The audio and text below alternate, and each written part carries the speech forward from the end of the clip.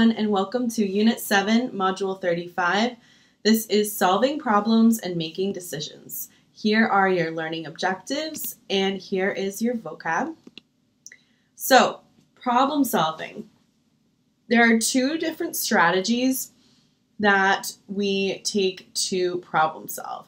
The first is called an algorithm, and that's a methodical, logical method that guarantees a solution to the problem, but it can take some time.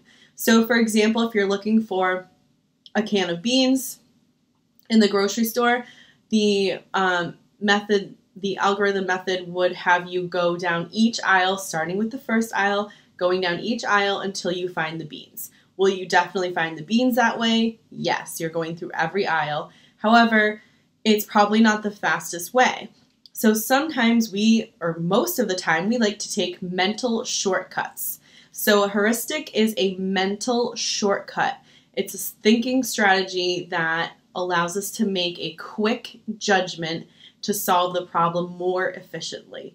So you're like, okay, I need a can of beans. Maybe you've never been in the grocery store, but usually like the sides are not where the canned goods are. It's somewhere in the middle and then you're like, oh, I see an owl that says rice, and so maybe you think it's down there. So you make those kind of like mental shortcuts as you go, and you can make mistakes, but oftentimes it does save you time.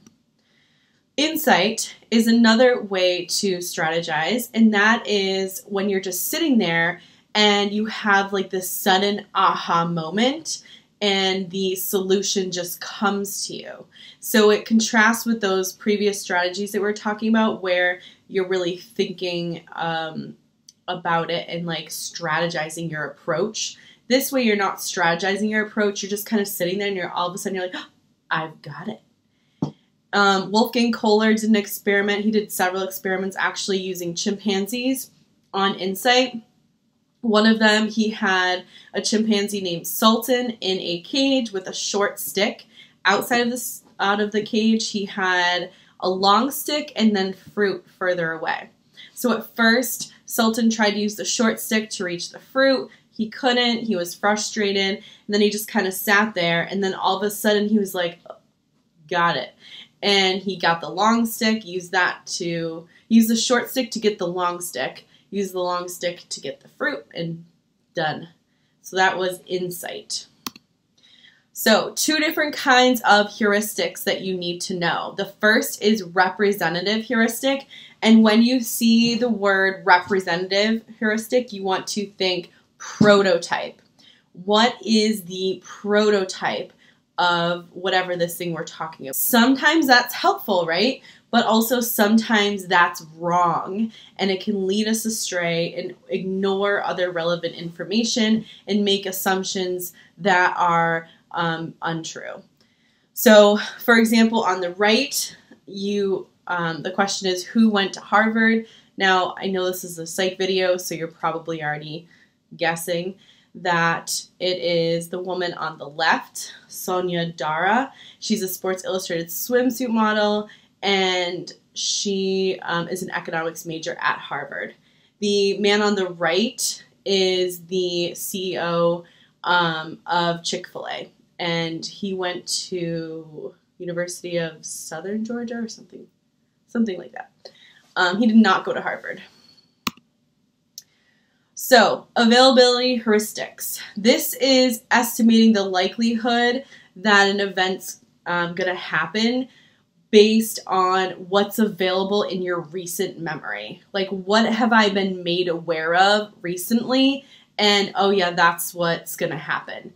So, for example, these people sitting on the beach and they're like, oh my gosh, I would not go in the water because, you know, shark attacks. Well, shark attacks make headlines, and so it's an available thing. It, it pops in their head. But what doesn't make headlines is people dying um, due to poor health, which is um, the numbers are, you know, tremendous. And they're eating some unhealthy food. Also, the numbers of people dying due to alcohol and smoking. And so they're doing all of those things, sitting there with a newspaper with a shark on it because it's talking about shark attacks. they're like, oh my gosh, never go in there. So it's not actually logical. Like it doesn't make sense when you look at the statistics at all. Like any, they're never nowhere near each other. But because it's information available in our minds, it's what we fear. Another example is um, having periods of very warm weather or very cold weather, and then making your opinion about climate change based on the current weather, the recent weather.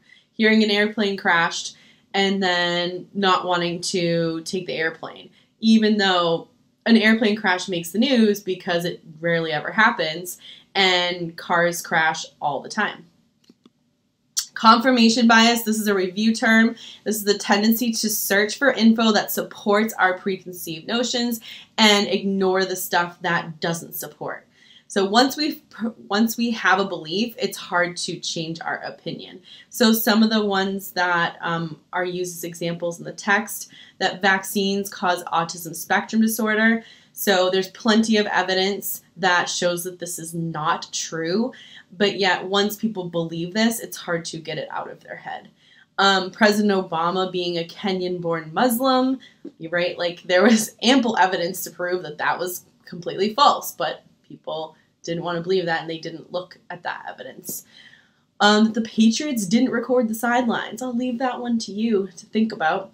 Um, the U.S. war against Iraq, which was launched um, based on the belief uh, that there were weapons of mass destruction, and it turned out there were not weapons of mass destruction.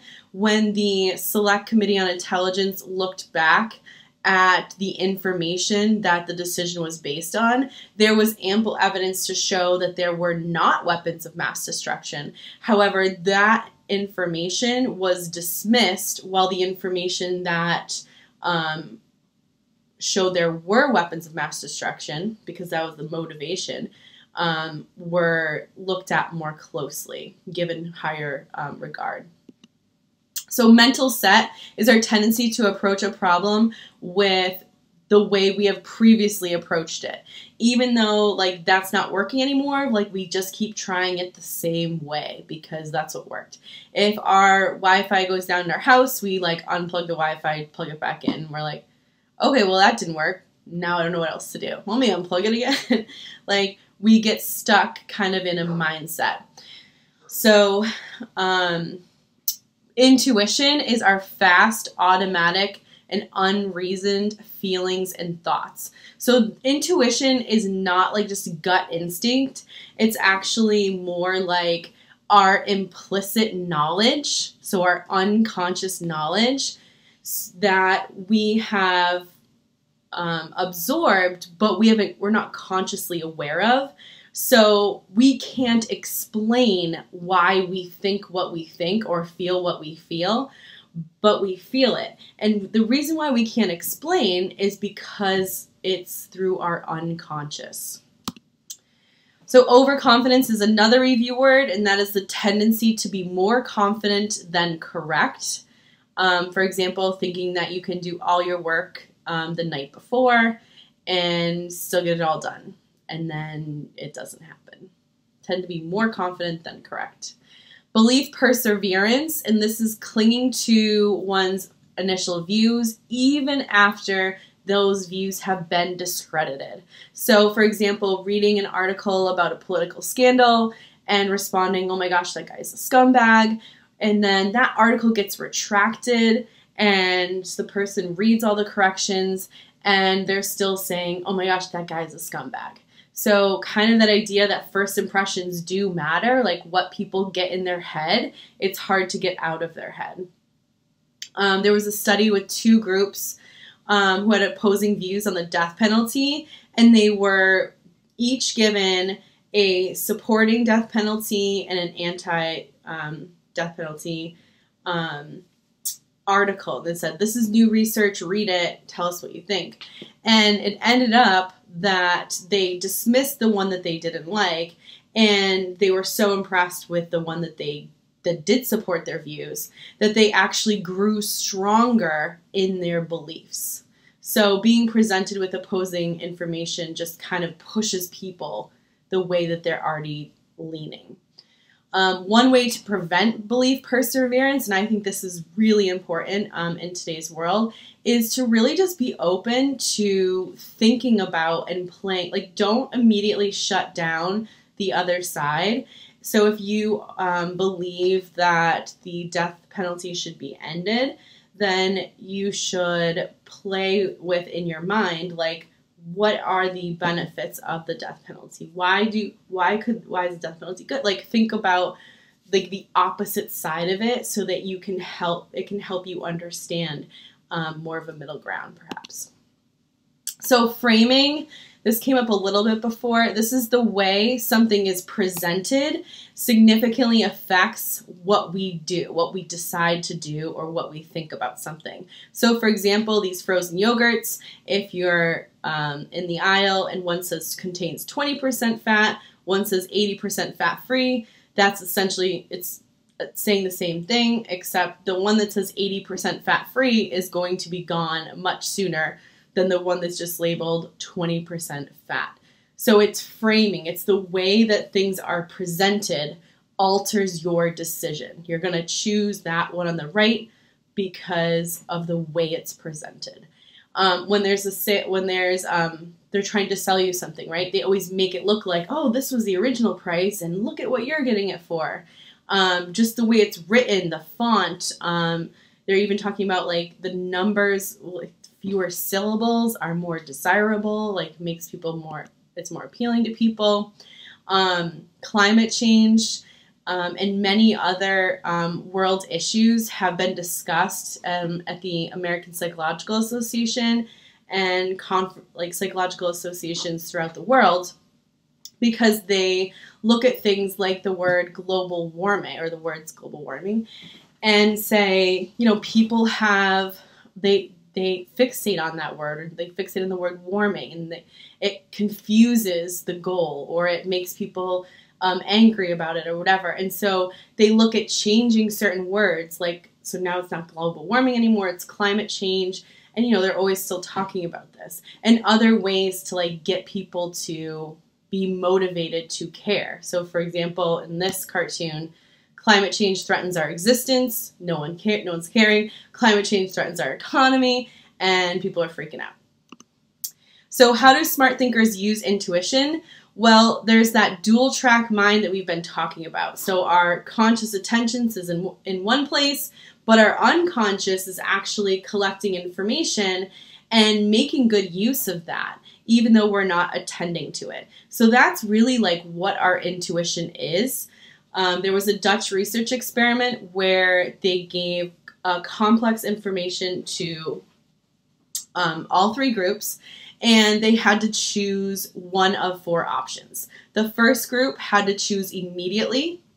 The second group was given several minutes to think about the problem and then they solved it and they did slightly better than group one. But group three repeatedly has done better. And that group was actually not thinking about the problem the whole time. They were distracted from the topic. And then they went back to it and they performed best. So, actually, like stepping away from it, you're not really completely stepping away from it. Your unconscious mind is actually still processing that information um, and kind of putting it together so that when you go back to it, you're going to have kind of a fresh look at it. Um, intuition is usually adaptive. So you see a stranger, they look like someone who's harmed you in the past, and you feel fearful of them. So that's for survival. Intuition, again, it's implicit knowledge. We already know it, but we can't really explain why we know it because it's we've collected it through our unconscious. So, takeaways algorithms guarantee a solution, but they take longer than heuristics. It's helpful to take time away from complex problems, so distract yourself and then return to the problem. Insight is that aha moment. Framing alters people's responses. And once people form a belief, it's hard to change their mind. That's belief perseverance. Representative heuristics, you want to think prototype and availability heuristics, you want to think readily available info or most recent. And that sums up Module 35, and I will see you in